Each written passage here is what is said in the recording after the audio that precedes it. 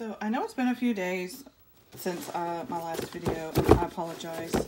Um, we've had a few family issues, medical issues, a lot going on right now. But, you know, this is my little crafting area where I do my plastic canvas or my journaling. And I told my husband that I wanted to um, do crafting for my journals and that I was going to work on some other projects.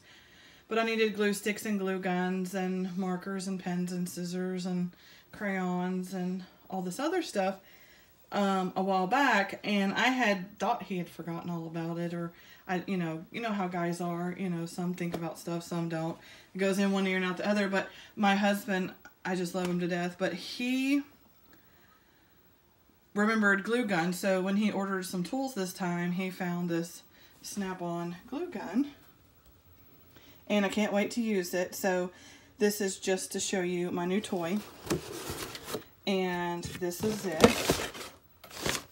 And these glue sticks, y'all. That is insane. Holy cow. And then here is the um, gun itself, the glue gun. And I think it's so cool. I love the color. It's very sturdy. I can't wait to do stuff with it. And I will do another video when I'm using it, but right now I um, just wanted to show it off a little bit.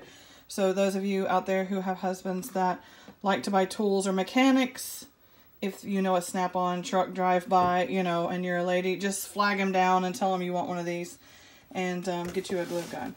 Um, a lot of times they're at mechanic shops, but you can see them driving down the road. But, you know, if you don't have a mechanical husband, just if you see a snap-on truck drive by, flag him down, tell him you want one, and get you one.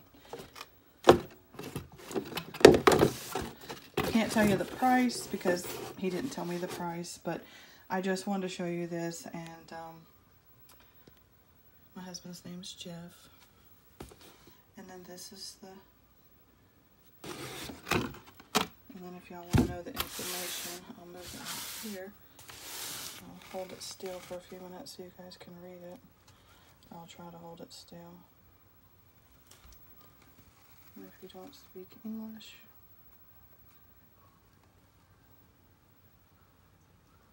hopefully y'all can see that. Um,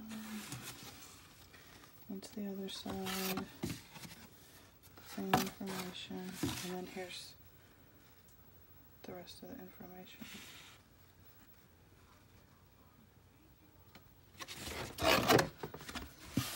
So anyway, thanks for watching. Please thumbs up, comment, subscribe, share this with your friends if you're a crafter or you like to use glue guns. Um, get you one. Thanks for watching. Bye for now.